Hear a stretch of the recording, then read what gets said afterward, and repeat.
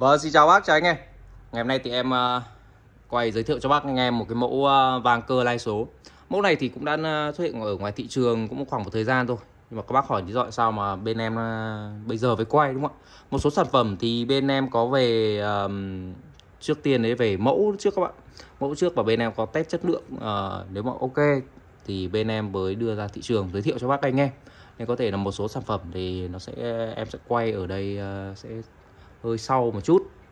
Còn mẫu nào mà đã test ok rồi chất lượng uh, được đảm bảo thì em mới giới thiệu cho bác anh em. Để các uh, yên tâm khi mua hàng bên em hay là các ờ, bên em cũng có yên tâm hơn khi mà đưa sản phẩm đến tay khách hàng các bác nhé. À, đây là mẫu vang cơ uh, này số Lex DX8 DX8 em này thì có rất nhiều chức năng hay cho các bác anh em nhé. Như chuyển đổi các chế độ về ừ, những cái như eco phòng họp hay là những chế, chế độ hát tiêu ừ, chuẩn chẳng hạn. Mỗi lần các bác chuyển chế độ như thế thì ở cái màn hình này nó sẽ thay đổi màu. Đấy, thay đổi màu luôn màu hiển thị. Các bác thể nhìn thấy luôn. Đấy, các bác nhìn thấy nhé Đó. nó có ở đây có rất nhiều các chế độ như là 56 chế độ các em đang chưa đếm cụ thể. Chúng ta cùng đếm cho nhé một này hai này ba bốn này năm này sáu. Tổng là 6 chế độ các bạn 6 chế độ được cài đặt sẵn ở đây. Và tất nhiên rồi thì à, đấy là chế độ cài đặt sẵn của em à, vang này thôi. Chúng ta có thể à, tùy chỉnh thêm ở những nút cơ ở đây. Delay, repeat reverse này, hay nút cân bằng echo reverse nhưng mà cái này thì chắc chắn có bác anh em về bảo là con này cái màn hình chỉ hiển thị thế thôi. Chứ còn không thấy có hiển thị thông số gì ở trên con vang này cả. Thế bác để, lại để phải để giúp em ở đây, nó có một cái nút menu ở cạnh màn hình các bấm này bấm đây nhé à, thì nó sẽ hiển thị các thông số ở màn à, màn hình đúng không ạ? Các nhìn có à, thay đổi này thay đổi những cái repeat này hạn sẽ thay đổi theo và có hiển thị đầy đủ trên này. Màn hình sẽ hiển thị đầy đủ tất cả các thông số của con vang à, trên này cho bác anh em nhé Đấy.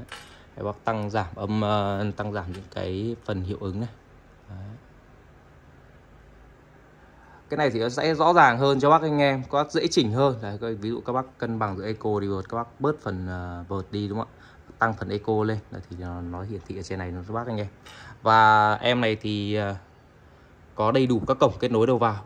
Cổng AV cổng quang bluetooth đầy đủ cho bác nhé và đây điều khiển của nó con này. Em này có điều khiển cái nút EQ này thì các bác nếu mà nghe dùng để nghe nhạc thì nó có nhiều thể loại nhạc uh, khác nhau. Pop ballad ra đấy các bác bấm nút EQ này nó sẽ thay đổi các bác nhé. Đấy. và cái uh, điều khiển này để tắt mở tạm thời hoặc uh, dừng uh, nhạc đấy, hay là tăng giảm âm lượng kỳ tiện lợi đúng không đây vào mặt trước nó sẽ như thế. Và về mà chúng ta sẽ gì? Về mặt sau. Mặt sau là các cổng kết nối đầu vào và đầu ra đây các cổng kết nối đầu vào. AV1 AV2 cổng quang Bluetooth. Đấy, đầy đủ cho bác nhé. Tất cả những chân cái kết nối này đều được mạ và vàng chống oxy hóa rất là tốt. À, và ở đây thì nó có cổng uh, cắt súp đây. Cổng cắt súp uh, đây bát ao có hai cổng nhạc ra bằng uh, calo. Và nó có cả ra bằng AV luôn các bạn NR ao đây. Và tương tự thế là cổng bát ao này cổng cắt súp. Còn cổng SRSN ao này anh em hỏi nó là cổng gì? Cổng SRSN ao này thì uh, nó thay thế cho cổng center đấy nhưng mà cái này thì chỉnh thì nó sẽ chi tiết hơn có thể nhìn ở đây ờ, thì chúng ta có thể có thể là tăng ờ, như các bác muốn là chỉ ờ, ra khoảng tầm 3 phần tiếng nhạc thôi.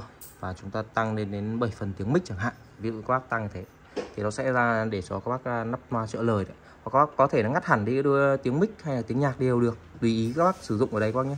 Em thấy cái cổng ừ, center điều chỉnh như thế này thì em thấy là hợp lý hơn, tùy ý theo của mình, chứ không phải là một là chọn tiếng mic, hai là chọn tiếng nhạc nữa à, và đây chắc chắn sẽ rất nhiều anh em hỏi mạch bên trong của em này có chất hay không mà giới thiệu hay thế. Thì đây em quay cho bác anh em xem nhé. Đây là mạch bên trong. Mạch vỉ đen nhìn cực kỳ khỏe khoắn chắc chắn luôn với bo mạch chống hú này. Bo mạch chống hú ờ, cực kỳ xịn sò với IC lớn xử lý tiếng đây. Còn cái bo mạch nhỏ nhỏ này các anh em hỏi là cái này là gì? Đây là cái um, giải mã các bác nhé. Giải mã quang hay là bluetooth đây. Là bo mạch uh, nhận tín hiệu này. Thế còn ở đây là cái uh, linh kiện bên trong của nó rất nhiều linh kiện.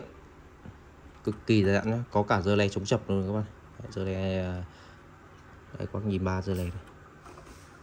Đây. đây là bộ xử lý nguồn. Đây là nguồn của nó các bác nhé còn đây là cái uh, mạch cầu phía mặt trước quay cụ thể cho bác luôn mặt trước mặt sau mạch bên trong và các chức năng. À, video cũng khá là dài rồi nếu như các bác có muốn à, test chất lượng âm thanh của em này thì em sẽ hẹn các bác anh em ở video tiếp theo. Và anh em có nhu cầu à, đặt về số lượng để kinh doanh thì các bác liên hệ trực tiếp qua số điện thoại bên em nhé.